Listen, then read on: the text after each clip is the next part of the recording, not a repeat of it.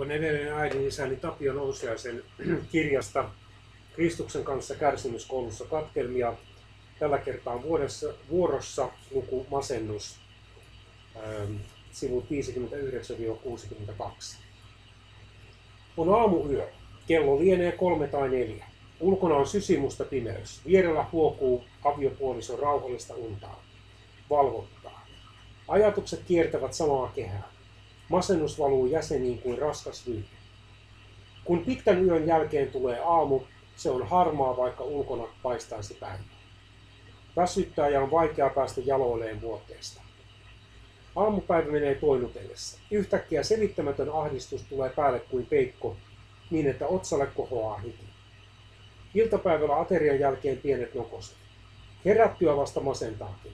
Haluttomana ihminen lähtee jatkamaan päiväänsä. Iltaa kohden elämä ja mieliala kohentuvat, mutta sitten alkaa jo aikaisin väsyttää ja nukuttaa kovasti. Ihminen painuu sänkyyn ja nukkuu herätäkseen taas aamuyöstä samaan kiertokulkuun. Onko tuttua? Kyllä ainakin tekijälle. Jo vuosia, mutta erikoisesti työelämästä päästöjen ja muutamien kipeiden ihmissuuden kokemusten jälkeen tekijä on potenut lievää depressiota eli masennusta. Lääkkeisiin ei ole onneksi tarvinnut turvautua. Joskus joku diapam, siinä kaikki.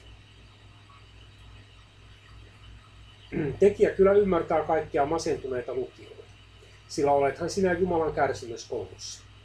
Lukemattomia kertoja olet itse syytöksessä tutkinut itseäsi ja moittinut itseäsi epäuskosta, kun olet kuullut voimakkaiden ylvästelyjä ja kehoituksia. Onko salainen synti masennuksen syynä?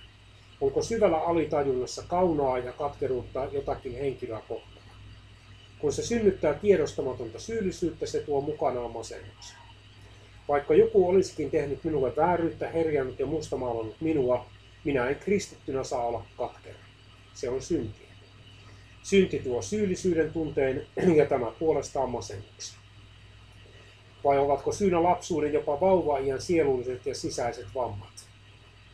Nämä tunneperäiset sielun vammat aiheuttavat heikon itsetunnon, vihan, itsevihan ja nämä puolestaan masennuksen.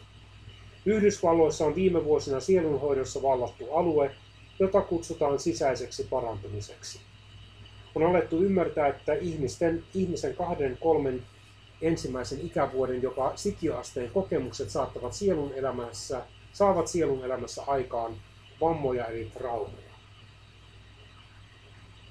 Kun mies oli työelämän ja hengellisen toiminnan pyörteissä masennuksella, ei ollut aikaa puhjeta esiin.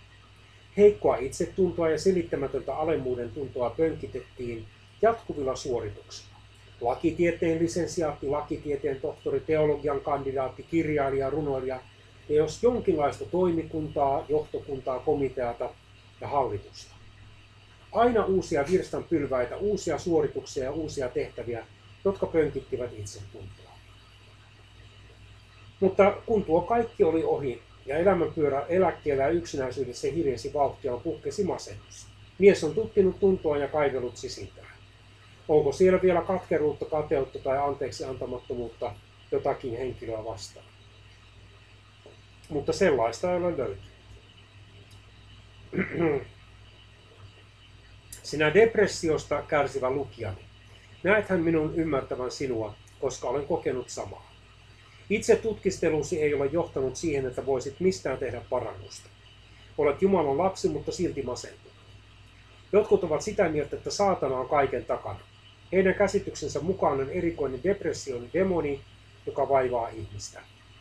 Masentuneista on niin ollen ajettu demoneja ulos, mutta tilanne on yleensä kääntynyt pahemmaksi. Muun masennuksen lisäksi tulee demonipelko ja siitä johtuva masennus. Jos ihminen on Kristuksessa, hän ei voi olla demonien valtaa. Tekijä ei voi sanoa kärsivälle lukijalle muuta kuin, että olet Jumalan kärsimyskoulussa, jossa lihaasi masennetaan ja sinua hiotaan iankaikkisuutta varten. Jos avautuminen synnin tunnustus ja sielunhoito eivät auta kristityllä, ei ole muuta neuvoa kuin kantaa Jumalan iestä. Raamattu sanoo valitusvirret 3.27. Hyvä on miehelle, että hän kantaa iestä nuoruudessa. Ja vieläpä vanhuudessaankin, niin kuin kirjoittaa. Rauhallinen elämä, terve ravinto ja ulkoilmassa liikkuminen lienevät parhaat ulkonaiset lääkkeet. Ei kannata hätääntyä. Jos rukous ei poista masennusta, on parasta painautua parhaan lohduttajan Kristuksen syliin. Paavali sanoi, että Jumala lohduttaa masentuneita. Toinen korinttilaiskirje, luku 7, jae 6. Lähellä on päivä, jolloin saat pukeutua taivaalliseen majaan ja depressiosi on vain pahaa unta.